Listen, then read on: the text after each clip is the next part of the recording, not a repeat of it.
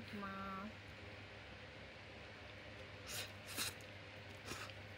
短くしたのに伸びた感じするよね。UFO 寄りなんだけどまたまた独特の味でね、うん。なんかなんつったらいいんだろう。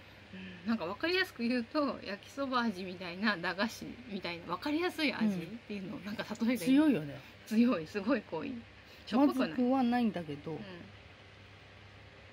やっぱ食べたことのない感じ。ん。でこれはこれで面白いかもしれない。うんうんうん。好きな人はすっごい好きだと思う、うん。この味。パンチ効いてるよね。うんうん、うん聞いてる、うんうん